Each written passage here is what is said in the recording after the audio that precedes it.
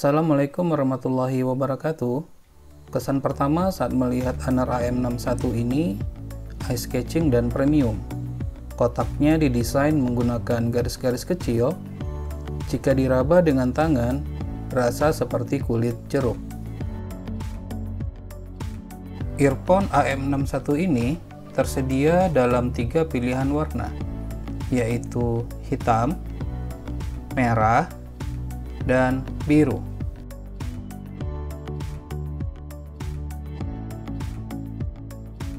Yang saya dapatkan ini adalah warna merah, di mana dalam box pembelian kita mendapatkan ear tips dengan berbagai macam ukuran, yaitu XL, L, M, dan S. Selain itu, kita juga mendapatkan kabel USB dan pouch.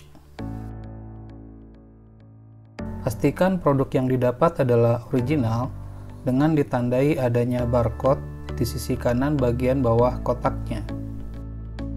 Dengan kabel micro USB ini, Honor AM61 dapat di recharge menggunakan laptop ataupun PC.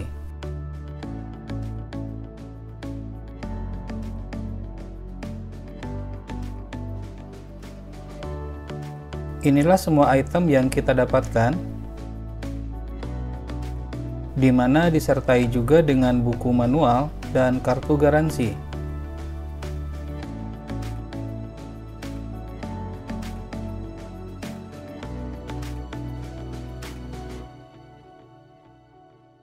Memiliki adjuster pada bagian atasnya.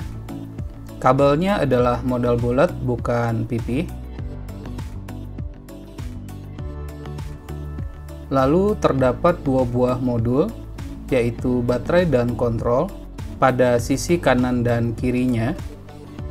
Bagian earphone-nya terbuat dari plastik dengan dilapisi magnet pada sisi pinggirnya. Desainnya menyerupai cakram ear tipsnya berbentuk shark fin di mana ear tipsnya ini lembut, lentur, dan enak di kuping saat dipakai meskipun dalam jangka waktu yang lama. Dengan kapasitas baterai 137 mAh, ternyata ini hanya cukup untuk 9 jam pemakaian saja. Terdapat tombol volume, power, lampu indikator, port micro USB, dan mic pada modul kontrolnya. Dengan berlapiskan magnet sehingga tidak mudah lepas saat dikalungkan di leher, modul baterai dan kontrol yang terpisah dari earphone-nya menjadikan ini lebih aman untuk alasan tertentu. Untuk proses pairing pertama kali, tekan tombol power dan jangan dilepas sampai lampu indikatornya berkedip dengan warna merah dan biru saling bergantian. Lalu aktifkan Bluetooth pada smartphone dan ditunggu sampai Bluetooth-nya terkoneksi. Honor AM61 ini sudah support untuk terkoneksi dengan dua smartphone sekaligus. Bagaimanakah kualitas Honor AM61 ini? Worth it kah dengan harga 300 ribuan? Tombol-tombol fungsi yang berada di dalam satu modul yang sama memberikan kemudahan dalam mengaksesnya. Selain berfungsi sebagai earphone, dapat juga digunakan untuk menelpon, suaranya jelas namun masih ada sedikit noise.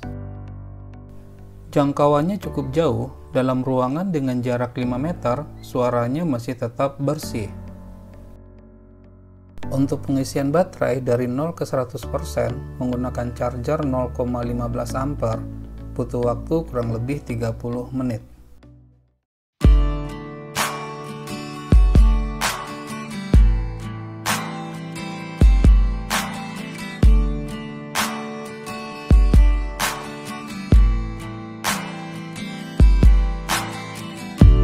I know I'm close, I'm far behind Covered the lies by shutting the blind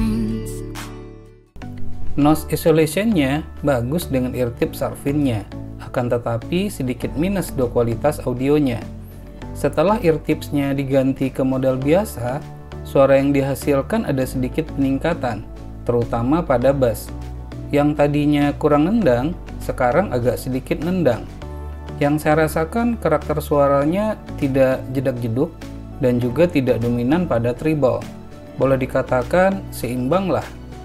Bass dan soundtage-nya berasa deep, detailnya dapat, akan tetapi masih kurang pada bass. Sehingga ini tidak direkomendasikan bagi yang suka suara bass yang punchy. Earphone ini cocok digunakan untuk berolahraga, di samping tahan dari percikan air ataupun keringat, daya tahan baterainya juga lumayan lama. Mudah-mudahan ini bermanfaat. Sekian dan terima kasih.